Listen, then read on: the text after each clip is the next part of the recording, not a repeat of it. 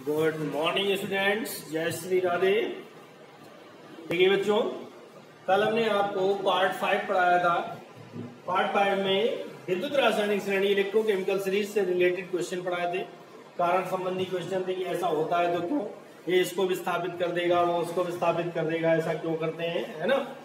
और उसके अनुप्रयोग पढ़ाए थे, विद्युत रासायनिक श्रेणी के लक्षण पढ़ाए थे। ठीक है? हम समझ में आ गए नहीं आए तो उसको आप कमेंट बॉक्स में पूछ सकते हैं।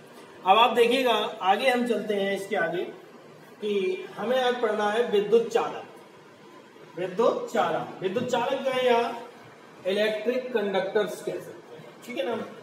वे पदार्थ क्या होते हैं? चालक अब क्लास नाइन टेंथ इलेवेंथ में पढ़ते आ रहे चालक क्या होते हैं? जिनमें करंट प्रवाहित होता है, जिनमें धारा प्रवाहित हो जाती है, उन्हें हम विद्युत चालक कहते हैं।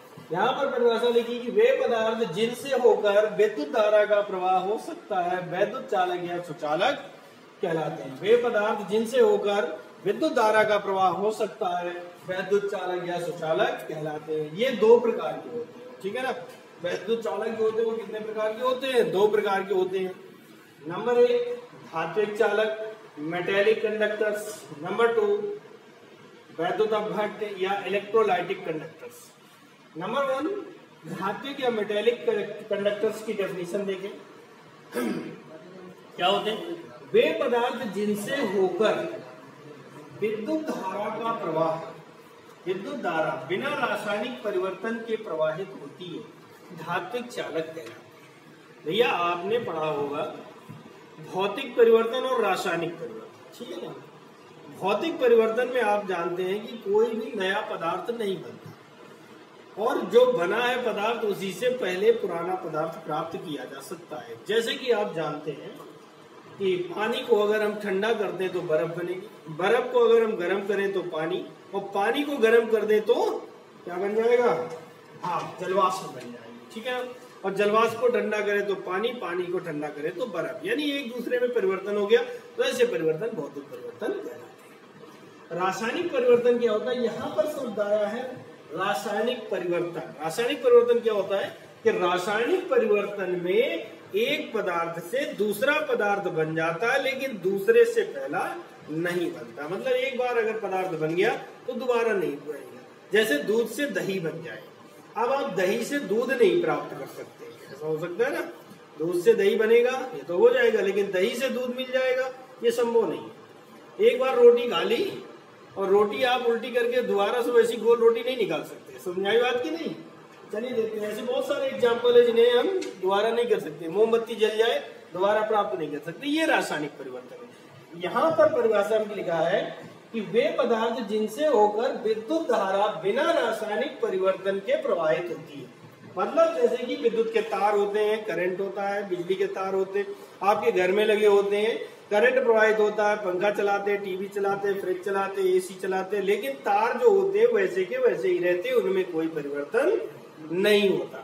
तो ऐसे ही पदार्थों को धात्विक चालक कहा जाता है। क्या कहेंगे इनको? धात्विक चालक मेटेलिक कंडक्टर्स कहते हैं, क्योंकि इनमें कोई रासायनिक परिवर्तन नहीं होता। तार जैसा है, वैसा ही रहेगा और आपका करंट प्रवाहित जाएगा। ठीक है, नंबर टू पर आता है, वैद्युत अपघट। इलेक्ट्रिक करंट कंडक्टर्स इनके एग्ज़ाम्पल आपने देखे होंगे धात्विक चालक के F E C U platinum AU यानी जितनी धातुएँ होती हैं, सब क्या होती है? धात्विक चालक। अब आता है वैद्युत अपघट्य इलेक्ट्रोलाइटिक कंडक्टर्स वे पदार्थ जिनमें विद्युत धारा का प्रवाह रासायनिक परिवर्तन के फलस्वरूप होता है। मतलब कोई भी पदार्थ ऐसा है जिसमें धारा का प्रवाह किया जा रहा है तो उसमें कोई ना कोई रासायनिक परिवर्तन होता है। रासायनिक परिवर्तन के फलस्वरूप होता है तो उसे हम वैद्युत अपघट या वैद्युत अपघटनी चालक कहलाते हैं। जैसे कि फॉर एग्ज़ाम्पल यहाँ पर देखिएगा, NaCl ले लिया। क्या लिया? NaCl इसमें जब हम विद्युत धारा प्रवाहित करेंगे तो Na plus C L minus में टूट जाएगा है ना? ये क्या हो गया? आयनीकृत हो गया। या आयनन कहेंगे क्रिया अर्थात आयनों में टूट जाएगा तो इसमें क्या हो रहा है? रासायनिक परिवर्तन हो रहा है। क्या हो रहा है? रासायनिक परिवर्तन होगा एच टू एसओ फोर ले लिया, है ना? तो ये बनेगा H plus plus H SO four minus आयनों में टूट गया। इस क्रिया को कहते हैं रासायनिक परिवर्तन के फलस्वरूप। या कहते हैं वैद्युत अपघटन के फलस्वरूप। विद्युत धारा का प्रवाह होता है वैद्युत अपघट या वैद्युत अपघटनी चालक कहलाते इलेक्ट्रोलाइटिक कंडक्टर कहलाते जैसे NaCl, KCl, H2SO4 है ना? इसके बाद आता है आपका कि ये दो प्रकार के होते हैं। कितने के? दो प्रकार के होते हैं। एक होते हैं प्रबल और एक होते हैं दुर्बल। अब प्रबल का मतलब तो आप जानते हैं जो जल्दी जो ज़्यादा ताकतवर है जो जल्दी काम कर ले जो जल्दी क्रिया कर ले वो प्रबल हो जाता है और जो धीरे धीरे करे है ना जैसे आप लोगों में होता है है ना कुछ स्टूडेंट होते हैं दो, ए, कहने के बाद याद कर लेते हैं कुछ लोग दो चार पिटने के बाद भी याद नहीं करते तो जो जल्दी याद कर लेते हैं वो प्रबल हो गए जो देर से याद करें वो दुर्बल हो गए। आई बात में तो नंबर ए पर आता है प्रबल वैद्युत अपघट इंग्लिश में कहेंगे स्ट्रॉन्ग इलेक्ट्रोलाइट्स वे वैद्युत अपघट जिनकी आयनन क्षमता उच्च होती है, प्रबल वैद्युत अपघट कहलाते हैं। आयनन क्षमता उच्च होती है। आयनन क्षमता उच्च का मतलब है, शीघ्रता से आयनों में टूट जाते हैं। शीघ्रता से आयनों में टूट जाते हैं या दो या दो से अधिक आयनों में बढ़ जाते हैं, उन्हें हम प्रबल वैद्युत अपघट कहते हैं। और ये पूर्ण रूप से वियोजित होते हैं। इनमें कोई भी मात्रा शेष नहीं बचती। है बात समझ में ये प्रबल वैद्युत जैसे कि N A C L K C L H two S O four H N O NaCl, KCl, H2SO4, HNO3, NaOH, KOH आदि। चलिए आगे देखिए। अभी आपने पढ़ा प्रबल वैद्युत अपघट प्रबल मतलब हमने बताया स्ट्रॉन्ग ताकतवर जो ज़्यादा पावरफुल होते। हैं अब आप पढ़ने जा रहे हैं दुर्बल वैद्युत अपघट दुर्बल वैद्युत अपघट ठीक है ना? क्या होते हैं दुर्बल वैद्युत अपघट वे वैद्युत अपघट जिनकी आयनन क्षमता कम होती है। वे वैद्युत अपघट्य जिनकी आयनन क्षमता कम होती है, दुर्बल वैद्युत अपघट्य कहलाते हैं। वे वैद्युत अपघट्य जिनकी आयनन क्षमता कम होती है, अर्थात वे कम मात्रा में टूटते हैं, शीघ्रता से आयनों में वियोजित नहीं होते हैं। ठीक है ना? जैसा भी हमने बताया, आप लोगों पर एग्ज़ाम्पल देकर के स्टूडेंट्स क्या करता है? कुछ स्टूडेंट तुरंत याद कर लेते हैं प्रबल में आ जाते हैं। कुछ लोग होते हैं दो चार डंडे खाने के बाद भी याद नहीं करते, वो दुर्बल में आ जाते हैं, या धीरे धीरे याद करते हैं, वो वीक स्ट्रॉन्ग वीक इलेक्ट्रोलाइट्स में आते हैं, दुर्बल वैद्युत अपवर्टी कहलाते हैं। फॉर एग्जांपल आपके दिखे हुए हैं H C N N H four C three C double N H three H two C O three H three B O three आदि।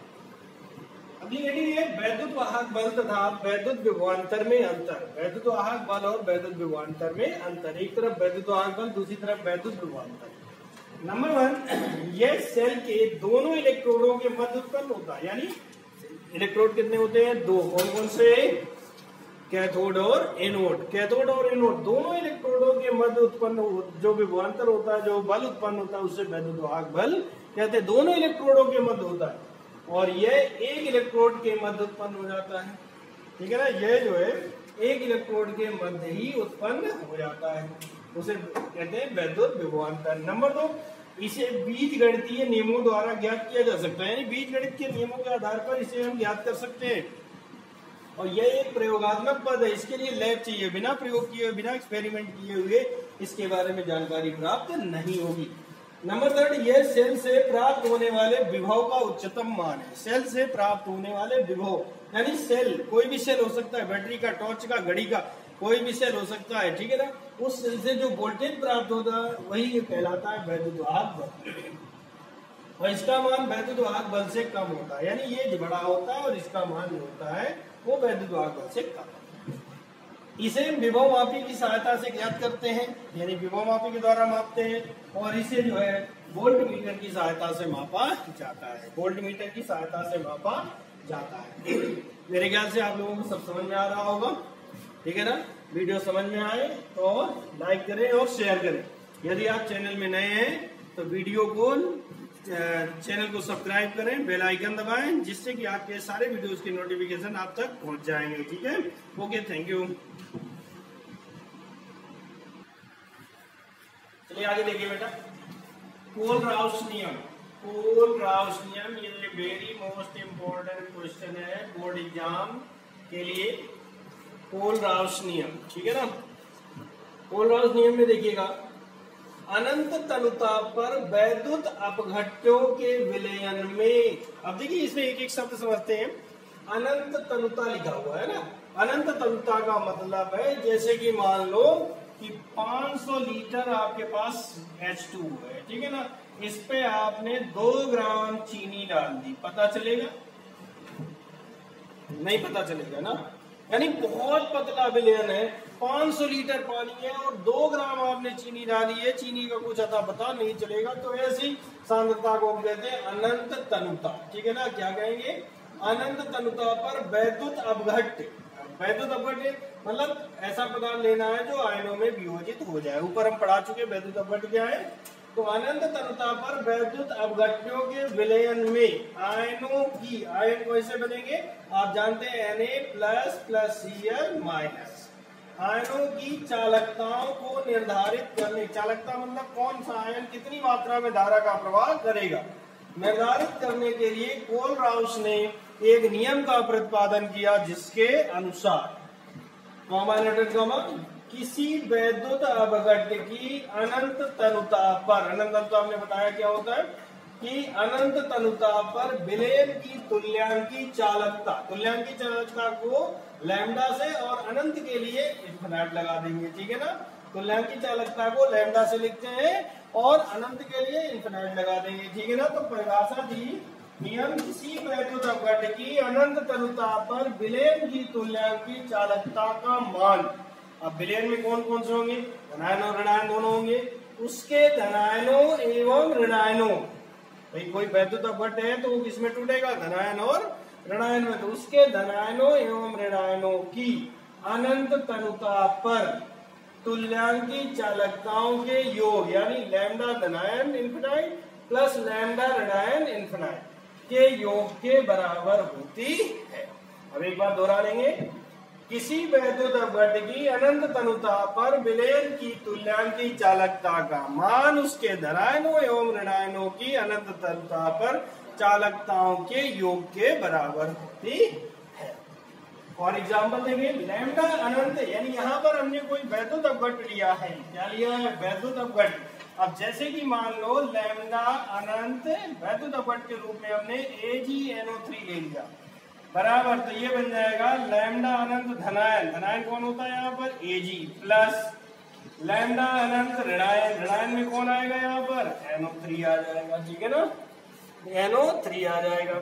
ए जी धनायन और एनओ थ्री ऋणायन। इसी तरह दूसरा एग्ज़ाम्पल लेते हैं। लैम्डा अनंत एन ए सी एल ये बनेगा लैमडा अनंत N A धनायन plus C L sorry lambda Anant C L minus ठीक है? इसी तरह तीसरा एग्जांपल लेते हैं, लैम्डा अनंत C S three C double O H lambda अनंत एच प्लस प्लस लैम्डा अनंत C S three C double O minus example number एक, दो, तीन, ठीक है ना? तीन एग्ज़ाम्पल हमने आपको दिए तो कोई भी वैद्युत अपघट हो, अनंत तंताफल उसकी तुल्यांकी चालकता का मान उसके धनायनों और ऋणायनों की तुल्यांकी चालकताओं के योग के बराबर होता है। इस प्रकार आपकी इस सूत्र की सहायता से किसी भी वैद्युत अपघट की अनंत क्षमता पर तुल्यांकी चालकता का मान ज्ञात कर सकते हैं।